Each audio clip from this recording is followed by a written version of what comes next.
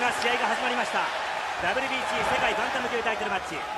黒いトランクスがえー、あーっとボディメリアボディを打ってきました。村瀬さん立ち上がりどうご覧になりますか？そうですねあのボディネリが出てくると思ったんですけど。2時間後の大きな左。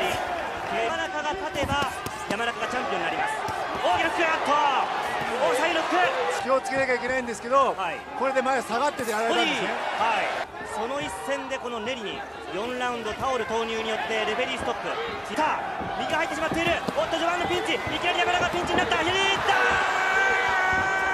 ーン山中ラウンド残りがそうですね。10秒です。ここは距離取ってもいいと思いますよ。まずはこのラウンドしのぎたい。山中このラウンドしのぎたい。ジャンから一気にネリが来る。はい。少しダメージある倒れ方ではあるので、ええ心配ええ。今みたいにしっかりガードして、はい。で1ラウンド目しっかりあヒリーターンの強さは前半ですからね。来ますよ。さあ2階級上のフェザー級の体を作ってもらいた。山中には神の槍がありません。ビギーター試合終了。